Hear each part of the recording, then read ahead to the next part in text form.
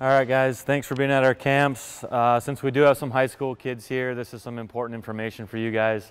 Uh, working in the compliance office here at Oklahoma State, one thing that we oversee is what we call initial eligibility. So initial eligibility is how you become eligible as a college freshman to practice, receive a scholarship, and to compete. So when you're a sophomore, junior, and senior in college, you become eligible based on what you've done in college, your grades in college, okay? But in order to be eligible as a freshman, it all depends on what you've done in high school. So when we talk about initial eligibility, becoming eligible as a freshman, there's, there's three things that you have to satisfy, okay? So the first thing that you have to do is you have to graduate on time from high school. What that means is eight semesters after you start high school as a ninth grader, you've got to, you've got to graduate high school. So you, you just go through the regular timeline, you enter with your ninth grade class, and you graduate the spring of your senior year. Okay, so that one should be pretty easy. The second one uh, gets a little bit more complex. So throughout your high school career in your 9th, 10th, 11th, and 12th grade year, you've got to complete 16 core credits. Okay, so core credits are English, math, science, social science, foreign languages, uh, not classes like team sports or shop class or personal finance or, or things like that. So 16 core classes you have to complete um, and then we're going to look at your GPA from those 16 core classes.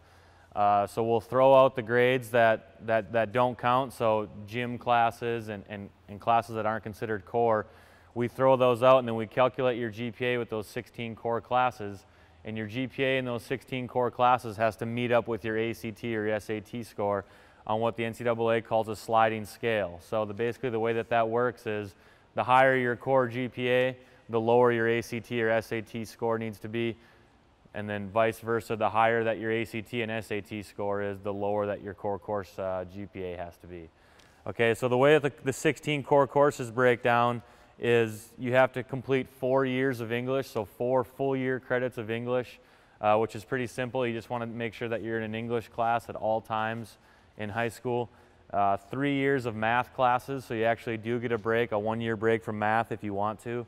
Um, two years of natural or physical science, so that would be like your biology, chemistry, uh, physics, classes like that. Two years of social science. Social science is uh, our social studies classes, so uh, government, econ, civics, Western Civ, history, things like that. And then the last category is you got to have four additional core credits, so they can be uh, English, math, or science, social science, or in that category we can add in foreign language.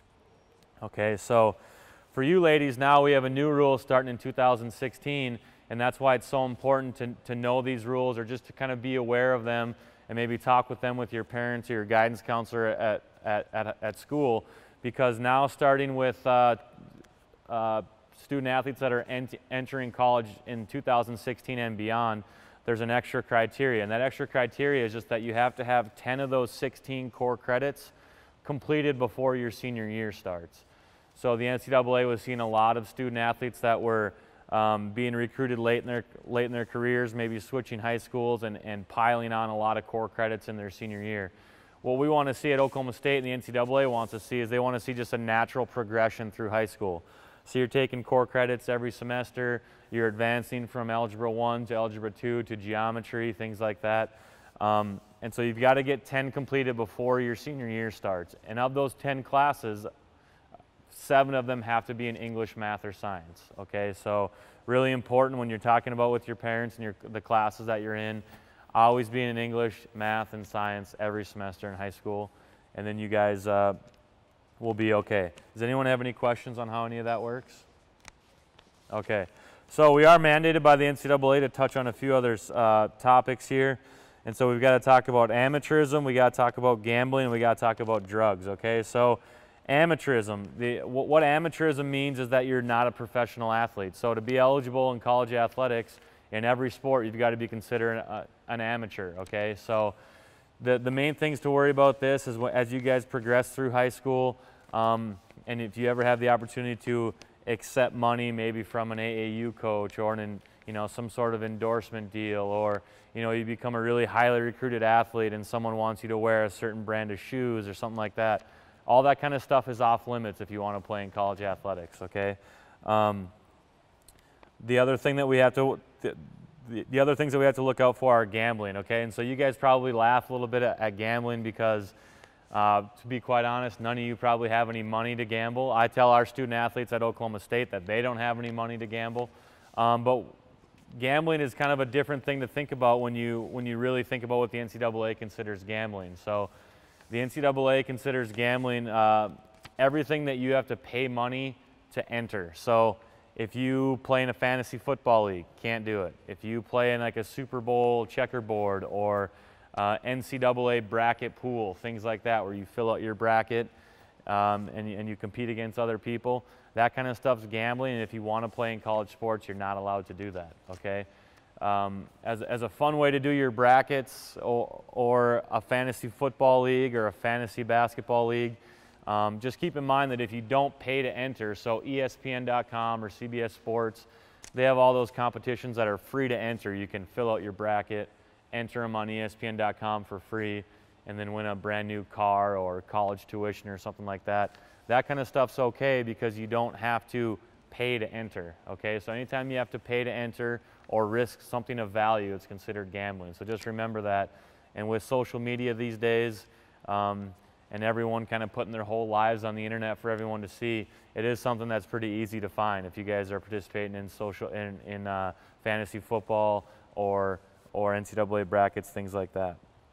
Um, the last thing is drugs. Okay, so we got to talk a little bit about uh, the two types of drugs that the NCAA looks out for, and the two types of drugs that Oklahoma State looks out for, and those are performance-enhancing drugs, and then they're also the street drugs. Okay, so First of all, on street drugs, the, uh, the, the, way that that works with the NCAA is that the first time that you get, that you test positive for a street drug, and what we mean by street drugs are things like marijuana, cocaine, you know, methamphetamines, things like that. So the first time you test positive for a street drug, you're going to be ineligible to compete for six months. Uh, obviously, what comes with that is probably a little public humiliation once um, people find out what, what went on with uh, um, the reason why you're sitting out from sports. And obviously, if you're going, if you're going to want to be an athlete in college or, or in high school, um, you know, drugs are obviously something that you guys want to stay away from. Um, you know, mentally with school, physically with, uh, with athletics, uh, the way that you interact with your family. I mean, I, th I, think we can all agree that drugs are not a good thing um, uh, for anyone, especially young athletes. The second thing is performance enhancing drugs, okay? The NCAA has a very extensive list of performance enhancing drugs. Uh, you can get perform you, you can get dinged on a performance enhancing test from things as such as drinking too much Red Bull. Okay, now it's drinking a lot of Red Bull, but you just have to be really careful about what you guys put into your bodies because things that you can buy over the counter from GNC or um, you know these fitness stores that pop up that, that sell you know nutritional items, a lot of their stuff is banned by the NCAA. Okay, and and the NCAA has some really strict penalties for um, for when you test positive for performance enhancing drugs. Uh, different high school districts handle it different with uh, drug testing and things like that for, uh, for you ladies, but in the NCAA, if you test positive for a performance enhancing drugs, you're ineligible for, your, for one year of competition. You have to sit out. That year of competition also docks you as season used. And then the second time you test positive for performance enhancing drugs, you're done playing college sports in all levels and in, in every sport. So it's a really serious thing to think about. And I just want to encourage you guys to make sure that you speak with your parents before putting anything uh, that you're unsure of into your bodies or taking anything after workout, any type of supplements, pills, powders, anything like that. I want to make sure that you guys uh, speak with your trainers at your high school, speak with your parents, and just make sure that you're being safe because a lot of these things are brand new. Um, there's not a, a ton of research on, on how they affect you 20, 30, 40 years down the road in your lives. And so make sure that you guys are careful um, with what you're putting into your bodies. Do you guys have any questions on anything I covered?